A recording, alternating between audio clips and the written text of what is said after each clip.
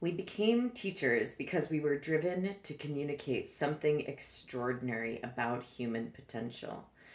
Our passion is to teach yoga as a spiritual practice.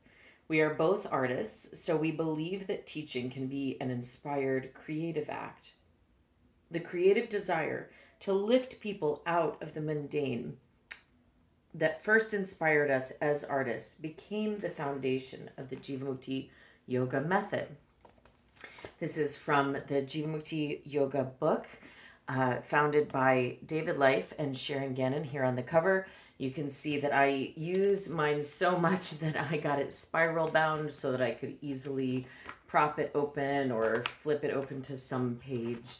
Uh, it's an excellent read for anyone interested in yoga, in particular Jivamukti Yoga.